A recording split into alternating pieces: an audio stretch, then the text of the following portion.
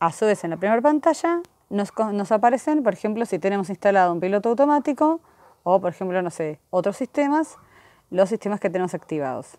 Si solamente tenés un banderillero mapeador satelital Dux 8, esto no te va a aparecer o te va a aparecer desactivado.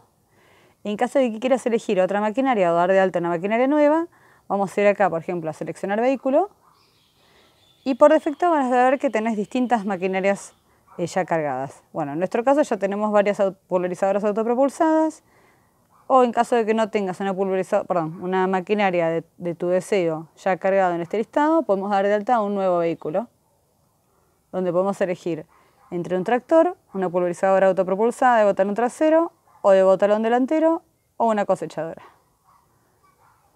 Por ahora vamos a darle cancelar.